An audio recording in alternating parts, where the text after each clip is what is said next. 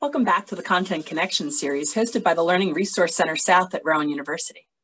I'm Mary Hartman, the Fiscal Operations Coordinator for LRC South, and also a certified science teacher with over 10 years of classroom experience.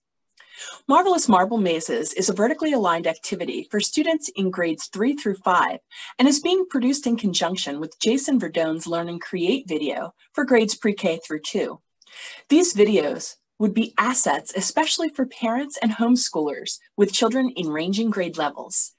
Marvelous Marble Mazes explores the next generation science standards concepts in the physical sciences by building a cardboard tube marble run. We will examine balanced and unbalanced forces to determine how the energy of our marble relates to its speed. As previously stated, this experiment is best suited for students in grades three to five, but with some adult assistance and modification can be made more complex for students in middle and high school as well.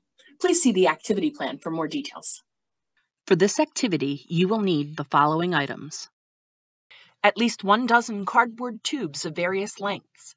It's really important that the tubes are the same diameter so they will stack on top of each other nicely. A flat piece of cardboard. This will be the base, so it will need to be as large as you want your marble run to be. A marker. A ruler or tape measure. Scissors.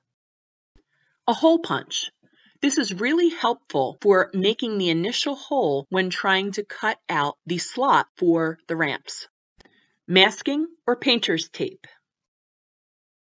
At least one marble. It would be helpful if you had marbles of either different sizes or different materials. A hot glue gun and glue sticks. Please note that this is only to be used with adult assistance the activity plan and data sheet, which can be downloaded by clicking the links below this video. Now we're going to get started with our marble maze. At this point, it will be really helpful to have the activity plan in front of you for reference. As with all science experiments, planning is one of the most important steps we can take, and this activity is no different. By planning the design first, it will save a lot of time fixing problems later. The first part of the plan is to determine which tubes will be the following. Base tubes, 2 to 4, which will be glued in place on the cardboard. Ramps, which will be cut vertically in half to form a chute for the marble to go along. And upright, which will attach to the base tubes and become the main part of your structure. Let's see how our team's plan is going. Okay, guys, can you explain to me what your plan is? So what we're doing is we're using the white tubes as the bases because they're the strongest. And then for our the rest of our structure, we're gonna have these two paper towel tubes. Yeah, two paper towel tubes. Then we'll do a zigzag back and forth. And then in the middle, we're gonna have three slots that will go one, two, three, and then there will be one down here. So one ramp can go there, there, and there. The team came up with a few helpful hints when building your structure. Try using a hole punch to make the hole in your tube. That'll give you space to fit the scissors. You might want to cut holes big enough for one of the ramps to fit inside the base tube so the marbles don't get stuck. The hot glue gun is your friend. It's very helpful to use to anchor the ramps you don't want to move in place. Now it's time to build. Be patient and have fun. Using scissors and the base tubes, cut holes large enough for the marble to come out. Using scissors and the tubes that will be ramps, cut all ramps in half vertically. Using one of your longer upright tubes, a paper towel tube for example, cut three levels of slots to be able to insert ramps into. These will be used to change the angle at which the marble will travel. Be sure there's enough space in the slots so that the marble you are using will come out. Plan out an arrangement for the base tubes on the flat piece of cardboard. Be careful to keep the pieces close enough that the ramp tubes will fit between them. The top part of all ramps will need to go all the way into the upright so the marble doesn't fall down. Trace the location of the base tubes on the cardboard. Hot glue the base tubes onto the flat cardboard, making sure the holes for the marble to escape are on the bottom. Once the glue has cooled, you'll have a structure that will support the rest of your build. Design the remainder of your marble run by cutting slots in the uprights for the ramps to attach. Fit your uprights into your base tubes and tape in place. Attach the ramps to the slots you cut in the uprights. Test each addition by sending the marble down the ramp to make sure it is going where you want it to go, and adjust your ramps as needed. Hot glue the ramps in place if you need to, but don't block any of the holes. Continue construction until all parts you want are in place and your marble runs smoothly throughout the maze. Now it's time to use the data sheet to assist students in making a hypothesis. Before running through your maze and timing the runs, have your students make a prediction about what they will find when they adjust the ramp positions. Okay, boys, now that your marble run is complete, how about we make a prediction as to what's going to happen? So our question is, on which ramp will the marble travel fastest? I picked the highest slot because the higher slot has more of an incline, which makes the marble go faster. The team has a suggestion before getting started. So we, we're starting the marble right here. Starting the marble in the same place will allow us to compare all of our results from the test. We're going to begin our testing with the ramp in the lowest slot on the upright with multiple slots. Set your stopwatch to zero. Start your marble at the same time as your stopwatch. When the marble reaches the base, stop the stopwatch. Record your time and observations in the data sheet. Two, one, go. So our time is 2.82. Alright, I'll record that in the data sheet. Repeat these steps with the ramp in the middle and highest slots. Alright, are you ready for test number two for the middle ramp? Yep. Three, two, one, go.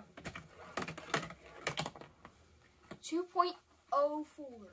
Alright, I'll record that one in the data sheet too. Alright, are you ready for the last test for the top ramp? Yep. Three, two, one, go.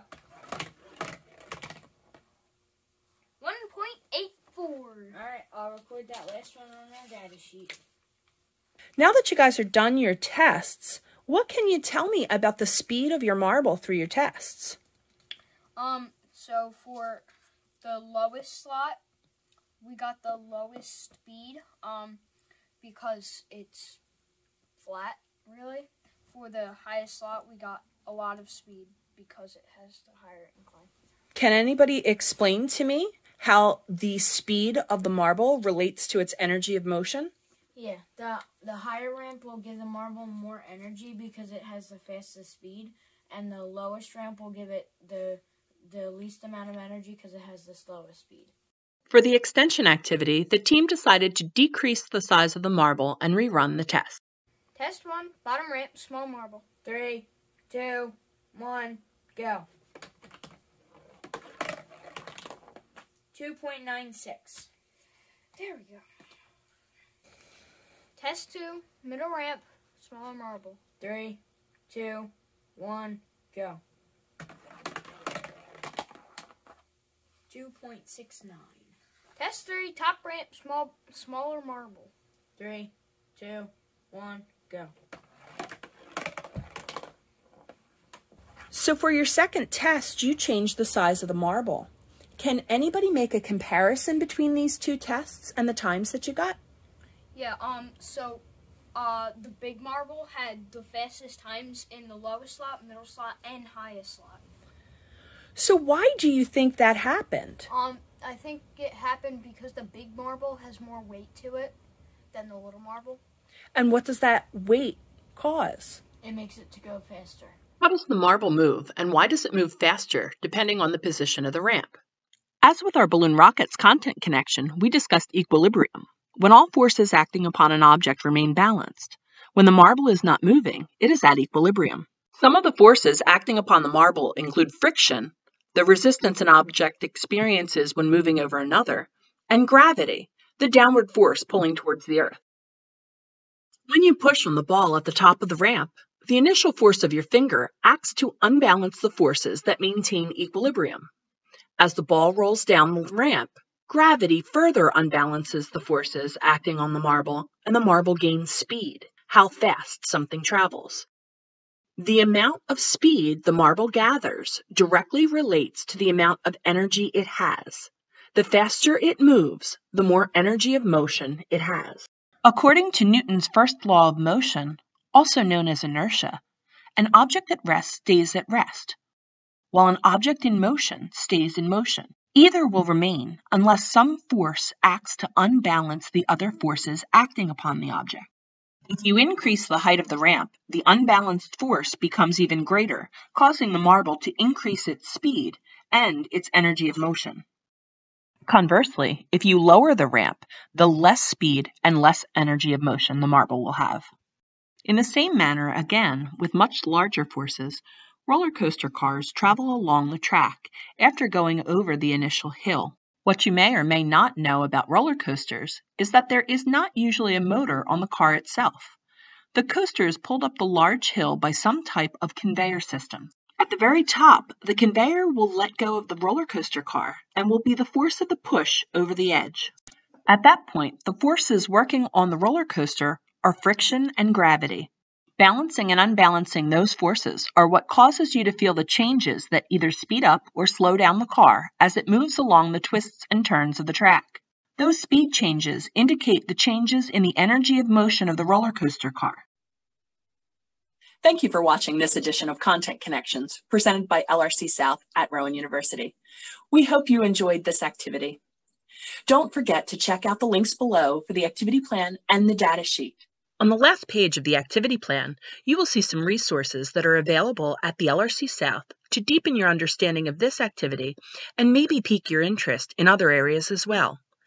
There is also a link on the first page to our LRC Express service to make borrowing resources easier.